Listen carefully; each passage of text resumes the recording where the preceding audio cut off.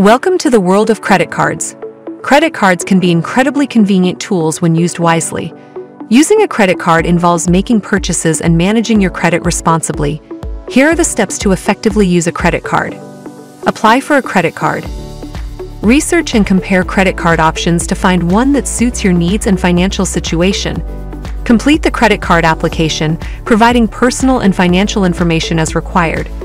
Wait for the card issuer to review your application and, if approved, send you a credit card. Activate your credit card. Follow the instructions provided by the card issuer to activate your card.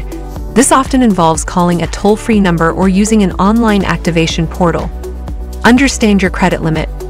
Your credit limit is the maximum amount you can charge on your credit card.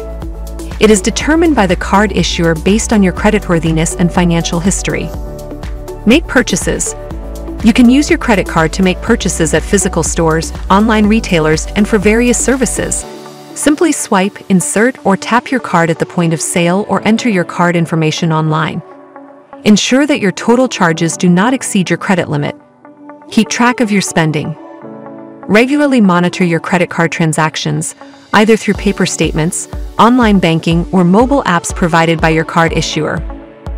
Review your transactions for accuracy and identify any unauthorized or fraudulent charges. Pay your bill on time. Credit cards come with a billing cycle. You will receive a statement each month showing your outstanding balance, minimum payment due, due date, and other important information. Pay at least the minimum payment by the due date to avoid late fees and penalties. However, it's best to pay the full statement balance to avoid interest charges. Manage your credit utilization. Try to keep your credit card balance well below your credit limit. High credit utilization can negatively impact your credit score. Avoid unnecessary fees and interest. Be aware of fees such as annual fees, foreign transaction fees, and cash advance fees associated with your card.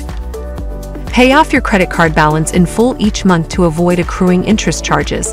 If you carry a balance, interest will be added to your outstanding amount. Build and maintain good credit. Responsible use of your credit card can help you build a positive credit history, which is essential for obtaining loans, mortgages, and lower interest rates in the future.